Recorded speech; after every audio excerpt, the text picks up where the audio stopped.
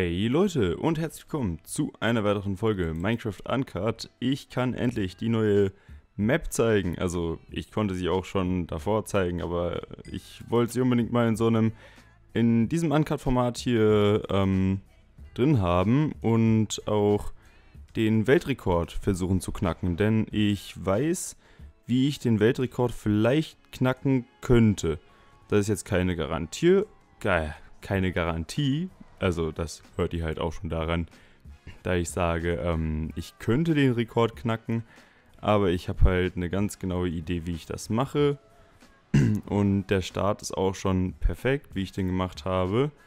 Ich bin mir nicht ganz sicher. Ich habe es schon ein paar Mal probiert, aber es gab immer kleine Fails, die da, ähm, die mich da ein bisschen abgehalten haben, den Rekord zu erreichen. Der Rekord liegt bei 1 Minute 6 und ich habe momentan 1 Minute 7, bin aber bei dem Rekordversuch im Cobweb hängen geblieben. Aber halt auch nur ein ganz kleines bisschen. Aber ich habe auch eine andere Route benutzt. Jetzt kriege ich gerade Frame Drops, was mega ungünstig ist. Und nicht nur Frame Drops, sondern... Und... Okay, und mein Internet will auch nicht ganz mitmachen. Naja. Dann war es in dieser Runde leider nichts mit dem Rekordversuch. Meine Idee ist, ihr habt gesehen, ich habe mich hier hinten nochmal hochgestraight. Okay.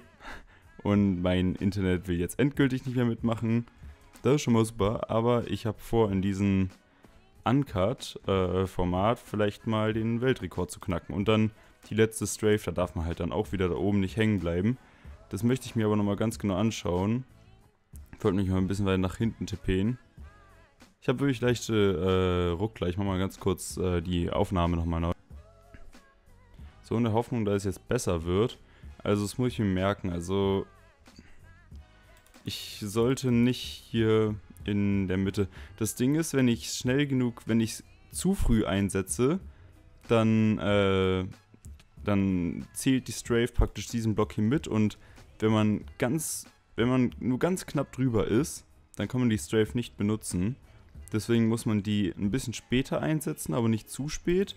Ansonsten knallt man dagegen. Das ist so diese Strafe-Mechanik. Die ist ein bisschen kompliziert. Aber ich denke, das kriege ich dann schon hin.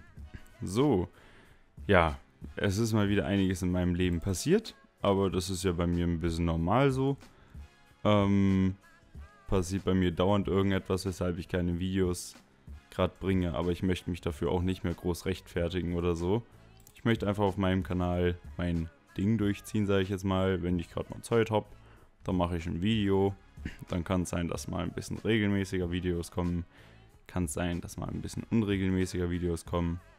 Weil ich auch ähm, auf meinem Kanal nicht mehr haben will. Ich möchte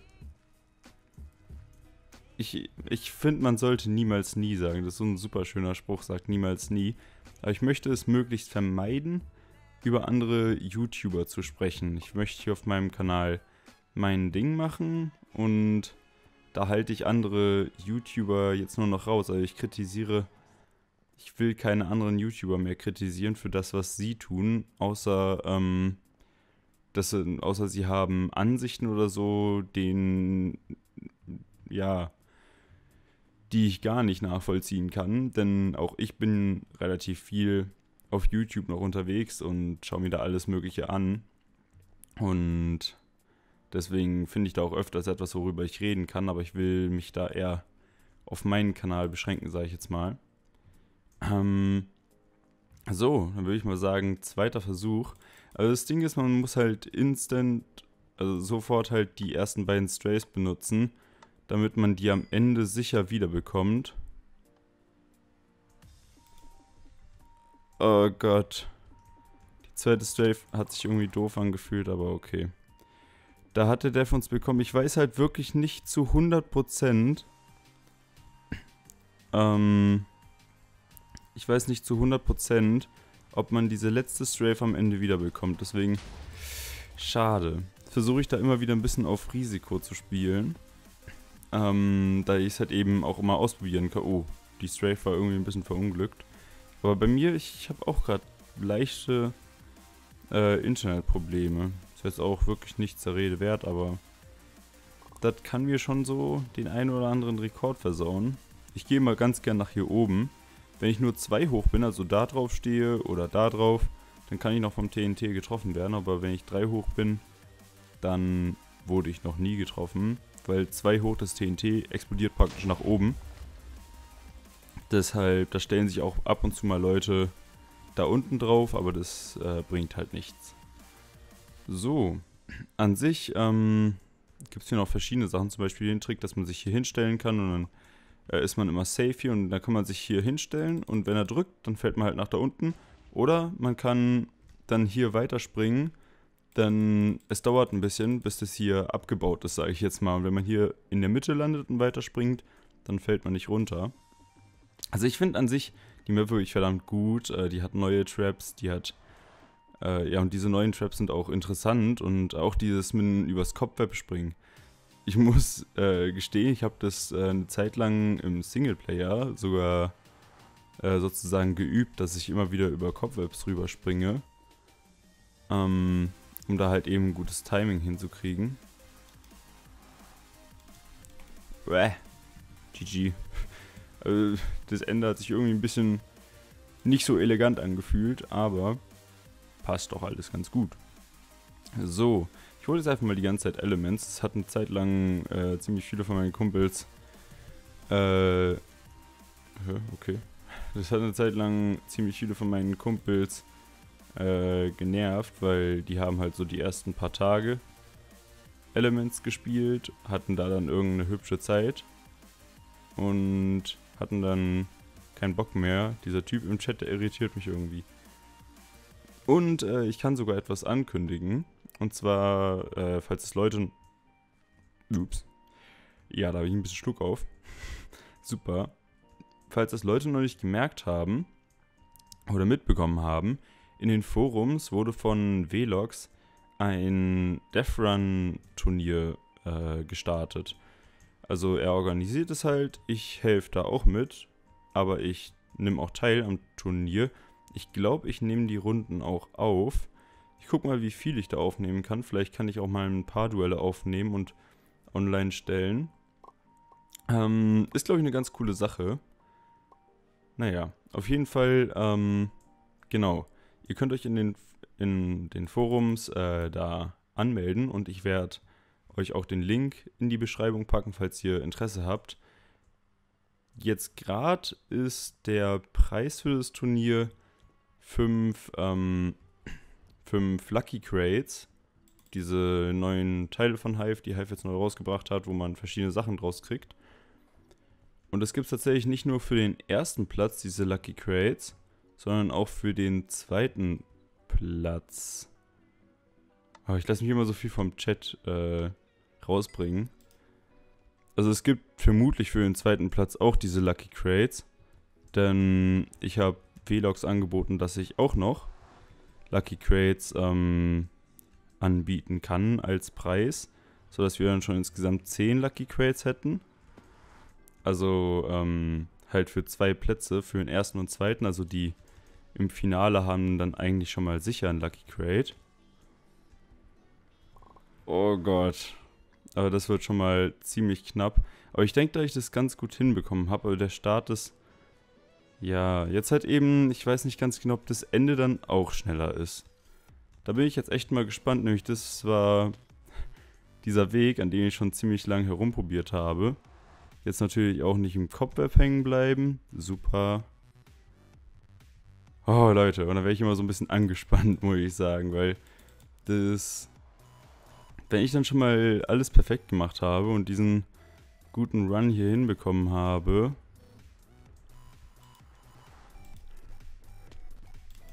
Nein, aber. Äh, ich bin halt da oben hängen geblieben, aber ich weiß nicht, ob das von der Zeit gereicht hätte. Ansonsten kann ich euch mal ganz schnell zeigen, wie ich den 1,6er Rekord mit Kopfweb gemacht habe. Nämlich mit diesem 1, äh, nee, den 1,7er Rekord. Also mit dem 1,7er Rekord schaffe ich halt, ähm, ganz, ganz sicher, äh, mit dem 1,7er Rekord schaffe ich halt ganz, ganz sicher 1.8 äh, eine Minute 6. Denn, ja, ich bin da halt im Kopfweb hängen geblieben.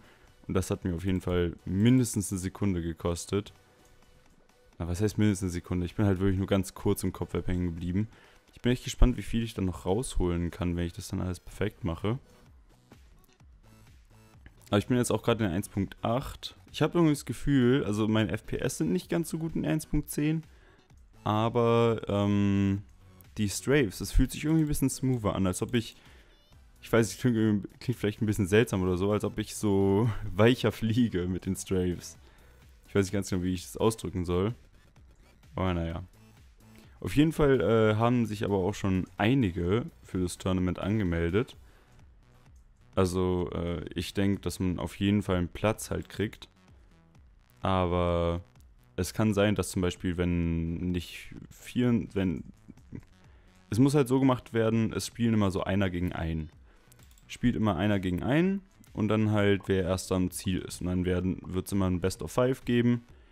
Und da ist halt so, es können halt 32 Spieler gegeneinander antreten, es können halt 64 Spieler gegeneinander antreten. Ich weiß nicht, wie es gemacht wird, wenn zum Beispiel 50 Spieler gegeneinander antreten. Also wie es dann ist, ob dann, keine Ahnung, ob die dann irgendwie doch noch mitmachen können oder ob dann einfach gesagt wird, okay, die ersten 32, die sich angemeldet haben, die kommen rein.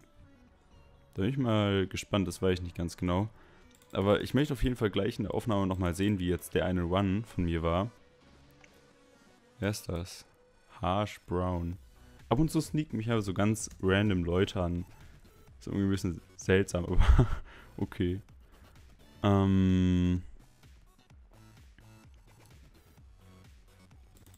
Da ist ein Mädchen, Dev. Da bin ich mal gespannt. Könnte lustig werden. Okay. ja. Könnte lustig werden. Also ein Rekord wird es dann schon mal nicht. Aber ich kann Ich habe auch eine Zeit lang versucht, hier über das Jump'n'Run, halt hier so schräg rüber, äh, eine Strafe zu benutzen. Es hat ein einziges Mal geklappt. Aber das war dann schon eine heftige Sache, weil ich meine, man muss da dann meistens auf einem einzigen Block landen. Und ja, das muss man auch erstmal hinkriegen. Aber das ist einfach OP. Also wenn man das gut hinkriegt, auf einem einzigen Block zu landen, da immer so ein bisschen warten, nämlich die haben halt auch so ihren Rhythmus. Oh lol, der hat schon ausgelöst, okay. Das ist gut. Und so mit der Zeit kriegt man auch so ein bisschen den Rhythmus halt, wann die Sachen wieder ausgefahren werden und so. Und naja, so. Ähm, ich versuche ja natürlich auch so viel wie möglich von der Map hier zu zeigen. Aber es soll halt in diesem Video wirklich nur um die Map gehen.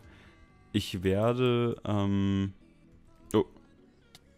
Ich werde, ähm, demnächst aber auch mal einen anderen Spielmodus in dem Uncut-Format hier bringen. Ich überlege schon welchen. Also ich denke so an Skywars, an TNT Run, an... Da gibt es ja verschiedene Sachen, die man da bringen kann. Oder auch Speedbuilders auf äh, Hypix, äh, auf Mindplex meine ich. Denn Speedbuilders ist ein Spiel, was ich an sich sehr, sehr gerne spiele. Und da habe ich auch schon äh, gegen sehr, sehr gute Spieler gespielt. Zum Beispiel äh, so ein deutscher YouTuber, der heißt Mangroa oder so. Also heißt er in-game, aber ich glaube, der heißt anders auf YouTube. Ich weiß nicht ganz genau. Aber der ist verdammt gut in diesem Spiel. Und gegen den habe ich schon mal gespielt. Und der ist da rumgeflitzt, ist nicht mehr schön. Aber naja. Ähm, ich würde sagen, dann hätte ich nochmal eine Runde ran und hoffe auf Elements. Oh, das. Ja, ich. Hä? Warte mal. Na, okay, dann bringen wir nochmal eine andere Runde. Dann sagen wir mal. Ja, Ace oder Jagium. Ist mir eigentlich relativ. Ja, Sonic könnte man halt auch noch. Wird auch noch ganz gut gewotet, aber egal. So, dann hat halt Eis gewonnen. Ice und Cave sind so zwei Maps, die in der letzten Zeit ziemlich oft gespielt werden. Weiß auch nicht ganz warum. Aber äh, mir macht es in der letzten Zeit auch Spaß, ähm, mal diese ganz alten Maps, wo man noch ganz vorne startet, einfach als allererstes in eine Runde reinzujoinen und dann dort wieder versuchen, neue Zeiten aufzustellen oder so. Ich bin da auch ab und zu ziemlich äh, knapp dran, vor allem meine Zeit of Prison ist so eine relativ Standardzeit, die eigentlich so ziemlich jeder hat. Also jeder, der ein bisschen aktiver halt spielt. Und naja, damit gebe ich mich natürlich nicht zufrieden. Da will ich schon eine bessere Zeit of Prison haben. Hm. Und genau, es wird halt auch noch angekündigt, beim Death Run Shop gibt es wohl irgendwie Probleme oder so. Good luck and have fun schreibe ich mal. Schreibe ich ja normalerweise immer. Aber vergesse ich immer wieder in der Aufnahme. Ähm, beim Villager gibt es wohl irgendwie Probleme, aber der wird jetzt auch bald released. Genau wie SG 2.0. Da bin ich dann auch gespannt, wie die SG-Community da drauf sein wird. Nein, da habe ich gerade die Sprungtaste gedrückt. Aber es wundert mich, um ehrlich zu sein, dass ich schneller starte als Velox. Weil wir sind eigentlich circa gleichzeitig äh, gestorben. Und ich dachte, dass er auch dieses das anhat, dass man so schnell spawnen kann. Weil ich habe das nicht an, aber so die meisten, die ich kenne, haben es an. Oh, es war knapp. So.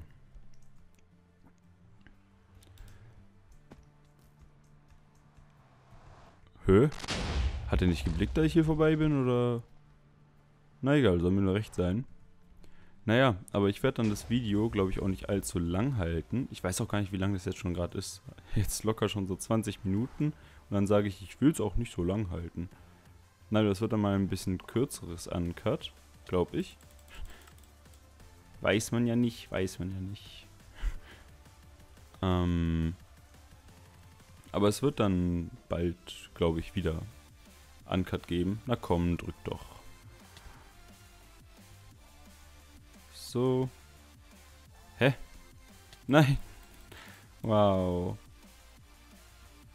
Das war nicht so ganz so gut. Aber egal.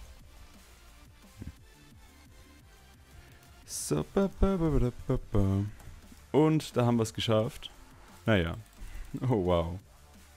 Ähm, das wäre es dann erstmal mit diesem Video. Ich hoffe, ich euch. Äh, ich hoffe, ich konnte euch auch ein bisschen etwas über diese neue Map ähm, Elements zeigen. Ich habe also ein paar Tricks auch gezeigt, die ich immer wieder benutze. Und da könnt ihr vielleicht jetzt auch ein bisschen besser äh, eure Speedruns gestalten. Hier ist so eine komische Lücke. Warum auch immer. Okay, dann würde ich sagen, auf jeden Fall. Dann würde ich sagen, vielen Dank fürs Zusehen. Bis zum nächsten Mal und tschüss.